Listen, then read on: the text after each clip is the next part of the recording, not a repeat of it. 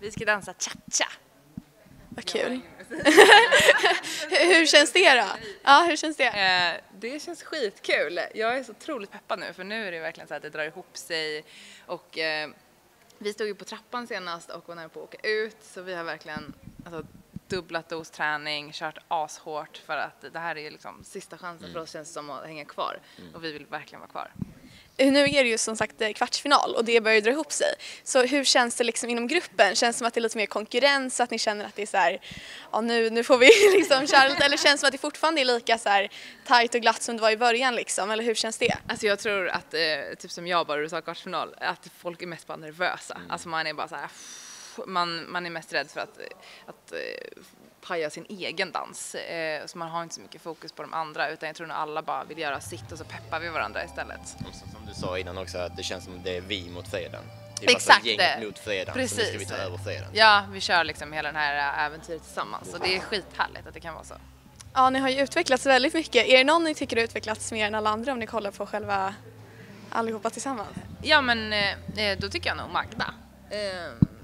Verkligen. Magda också gjorde stort eh, steg framåt. Ja. Ehm, Robin också.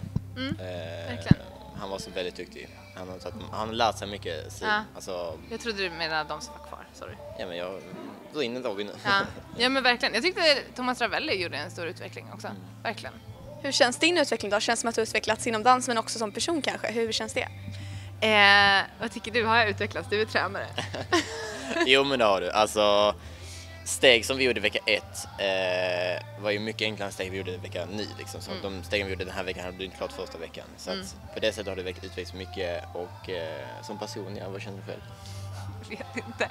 Ja, men, eh, alltså, man kanske inte utvecklas som person men eh, eller det gör man ju säkert på jättemånga sätt för man får utmana sig hela tiden och göra grejer man är rädd för som man tycker är jobbigt och eh, jag är en person som är ganska självkritisk också har ganska mycket självhat som jag hela tiden så här, får jobba emot eh, och tycker liksom aldrig att någonting är tillräckligt bra helt enkelt. Eh, och många dagar tycker jag bara att jag är skit. Eh, och, och det får man ju jobba med och försöka utmana hela tiden här.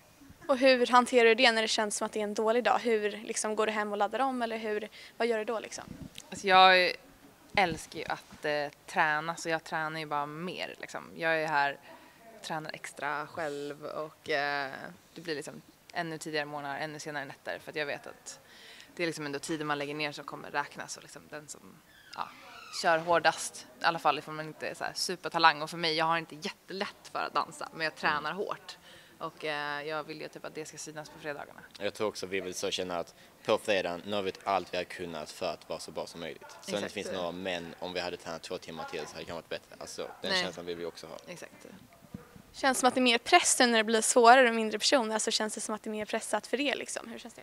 Ja, men framför allt så vill man ju verkligen, verkligen vara kvar. Alltså jag tycker det här är skitroligt. Både med det här fantastiska gänget och också med alla danser, hänga med dig. Och det, det är verkligen så jävla grymt så man vill inte att det ska ta slut. Eh, så att, eh, nej, man vill verkligen, verkligen vara kvar. Har ni blivit bästa vänner liksom när programmet har startat? Ja! Ja.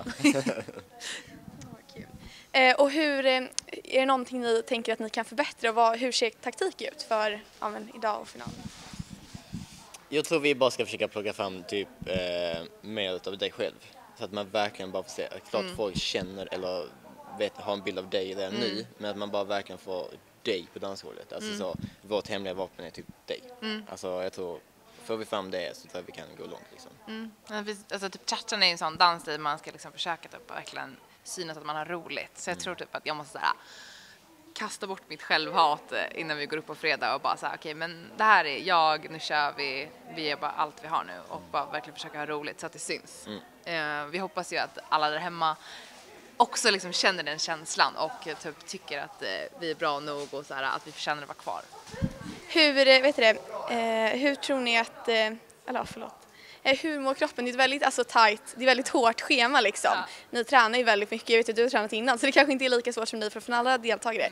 Men hur känns det liksom? Hur har ni lagt upp det för att få det att funka? Jo men jag har ju aldrig tränat det här förut. Eh, bara att gå runt i klackar så här, tio timmar om dagen är helt sjukt för kroppen. Eh, så att man är sliten nu men... Eh, Men men det är en annan slags träning också ju. Ja. Alltså, vi, har inte så, vi jobbar inte så mycket stora muskler, vi har små fina muskler som Mm. är här och där. Så att jag tror du kommer känna träningsvärk på andra ställen vad du inte brukar känna träningsvärk på. Mm. Det känns som att man inte ens har träningsvärk när man har bara ont. Ja.